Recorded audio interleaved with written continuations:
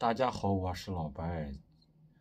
昨天发生了一件事儿，好事儿变成坏事儿，坏事儿变成好事儿。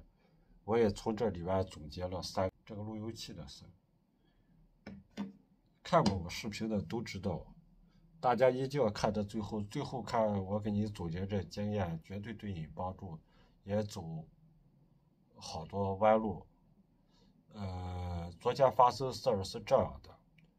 就是我那个朋友啊，他他那个手机没马上没流量了，我想着给用一下用一下，结果用了些，他等一会儿要走了，我想着，哎呀，我这手机我也得变变密码，万一别人蹭了蹭我的网，这是人之常情嘛，都害怕别人蹭蹭他网嘛，我就变密码，变了连我变的连我自己都给忘了，啊，忘了这这，我说这咋整？捣鼓捣鼓就是捣鼓不好。回来回下班一起打下班一起倒到晚上的一点钟，呃，才给在在手机上又是整，在我电脑上整才给整好了。我从这里边也总结了三个三个经验，这是最主要的，希望对大家有很大的帮助。啥经验呢？第一个就是大家把这个买这个的时候之后。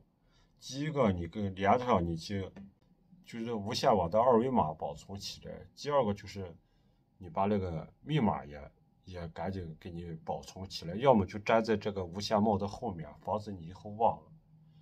第三个就是已经做成图片了，在我这个这面了，大家可以仔细观察一下。我在我这方，有的就像这个呀，它有这个，有这个有这个孔来，看见吗？有这个孔，用别针在这个孔里边一别，别这个孔里边别个三分钟，回五分钟，它自动就恢复出厂日期了。恢复出厂日期，这是最简单的。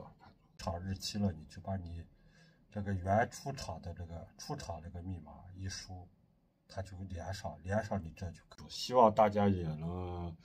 多关关关注我的视频，也或者是话多能支持我，谢谢。